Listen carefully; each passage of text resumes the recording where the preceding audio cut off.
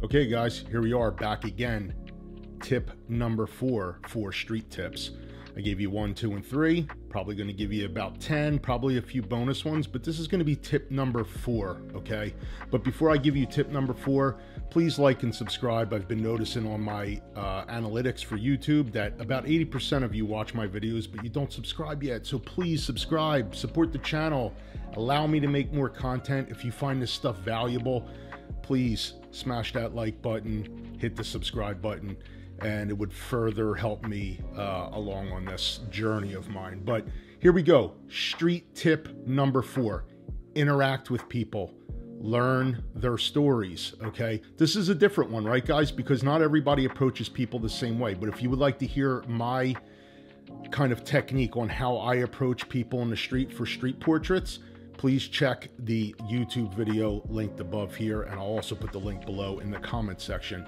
Really long video, but really insightful, and I think you guys would find it helpful. But learn about your subjects, right? So don't just go up to somebody and just snap a picture of them.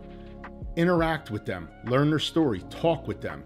Okay, sometimes people have a lot of anxiety about approaching people, and you'll find out that the more you do it, the less it really is a big deal. Okay, you start you start getting used to it. Um, I like to try to pick out something as an opener, right? If you give me a little crack, a little chink in your armor, I'm to find a way in and I'm to be able to talk to you.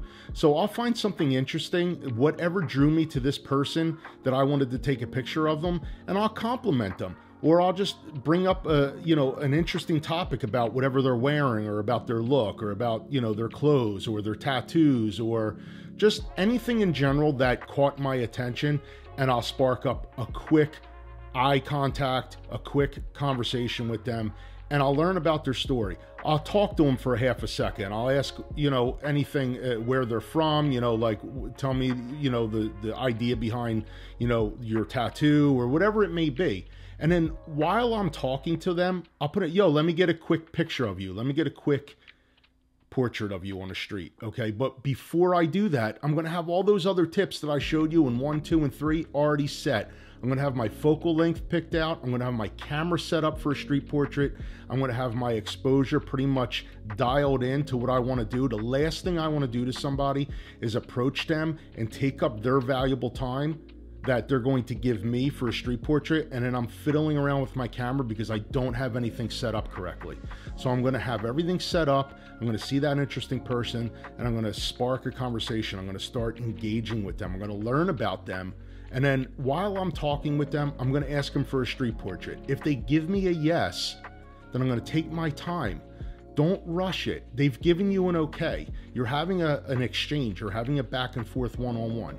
Take a few portraits consider telling a story, and I'll get into that in a further tip. But take a few different portraits, take a couple different angles, take some detail shots if you're looking at the rings on their finger, or if you're looking at, you know, their tattoos or their hat or something that they're wearing on a jacket or something. Dial in on that and use that as part of your storytelling kind of photo montage of this particular incident, this particular person okay? And then talk with them, engage. And then after you're done, thank them for their time, okay? Thank them for their time, have a nice conversation. Follow them on Instagram, show them your Instagram, show them your YouTube, your website, whatever you have for social media. But have a back and forth exchange if you want to. Offer to send them the photo, offer to send them the file um, you'll find that this collaboration, this talking between people, really opens up a lot of avenues in your photography that you never know where it's going to lead, right? You're going to meet somebody really interesting. And if you're just quick, take the picture and then you walk away or, and, and that's it, you're never going to know what it could have been. So take your time, engage with people, be genuine. Okay. A smile goes a long way and just learn about people and just embrace this whole thing that is street photography and just enjoy the moment, enjoy what you're doing. And that's going to come across. Be open and honest about what you're doing too. Don't hide it. Don't shy away and sneak the camera. If you're going to take a picture, just go and take a picture. If you're going to ask somebody for a picture, just go and ask them for a picture. The worst that they're going to say is no, okay? And then you walk away. It is what it is. Um, but if you want to hear more about my tips and techniques on how I approach people for street portraits, please go and check that link below for that YouTube video. I think it'll be very helpful for a lot of people because I know this is a really, really difficult people uh, situation for people. It's really, really difficult. A lot of people don't have a problem going out and taking architecture shots, taking shots on the street, just you know, random stuff. But when it comes to approaching people and having a one-on-one conversation, people have so much anxiety and i understand that but there's a way to get past it.